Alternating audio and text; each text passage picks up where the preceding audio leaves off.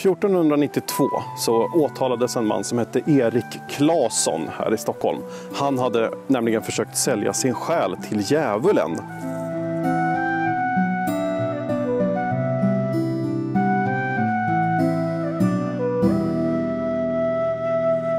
Det var ju så att under medeltiden så var Sverige ett katolskt land. Alla var tvungna att eh, vara kristna och gå i kyrkan. Man kunde till exempel gå här till Klara klosterkyrka som låg här där Klara kyrka fortfarande ligger, även om just den här byggnaden är senare.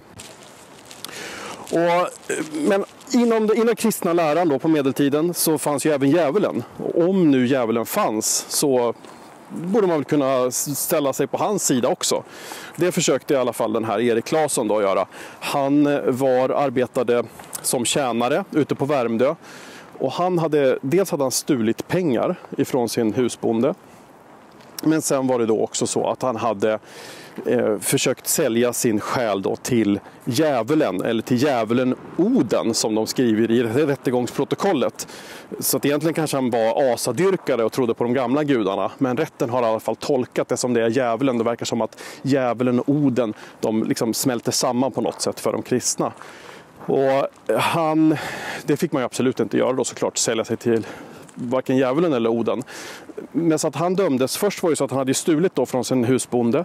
Så för det så dömdes han till hängning och till stegling.